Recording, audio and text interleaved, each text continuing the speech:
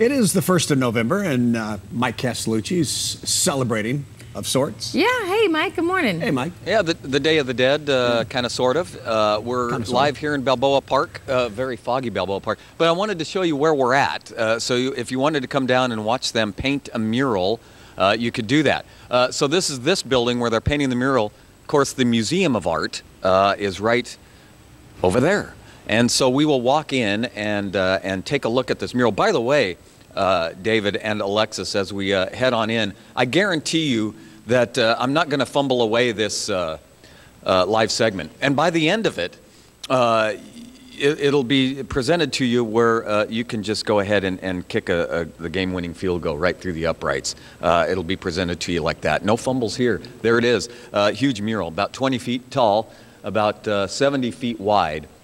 And it is in conjunction with a, uh, an exhibit that will open on Saturday at the Museum of Art. Alexander's here to uh, talk about that. Uh, tell us about the exhibit and how this relates to it. Yeah, well, we have the wonderful exhibition of, of Mexican modern artists, and a lot of them were mural painters.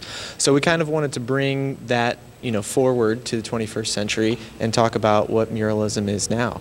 Um, and so the artists are going to be here working live in the space uh, every weeknight, 5 to 9 until uh, the 16th of November. But you can also see them work on our website. Uh, we have two cameras that are installed in the space um, with a live feed of what's going on. So any night that uh, you want, you can just get on the San Diego Museum of Art.org and check out what's happening with the mural. Great. And uh, Sergio is here with the group that's uh, responsible for painting this mural. Uh, it, they're going to paint it uh, basically every day until uh, the ceremony, which opens it in December, right? That's a long time to be painting. Yeah, definitely. The walls are pretty big, so it'll take a few days to, to wrap it up. it is. And so you'll be working on it how long? Like a, a month or so, right? Um, Yeah, about a month, you know, um, working throughout, you know, the evenings so people can come out to see and hopefully throughout wee hours of the morning.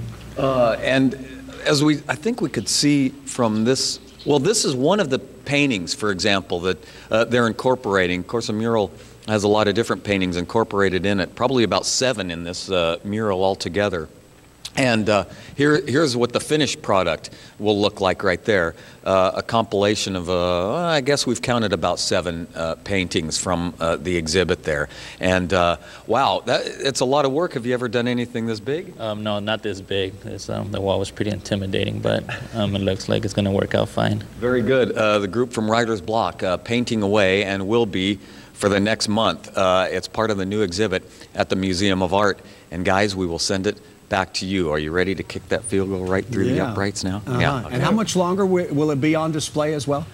Uh, I don't know, Alexander, how long after they're finished, uh, the completion of it, how long will it be on display? It will be up indefinitely, so this is going to be a new part of uh, the museum. There you go. Much Nice. like uh, some of the murals around uh, Coronado and Los Angeles and so forth from um, muralists.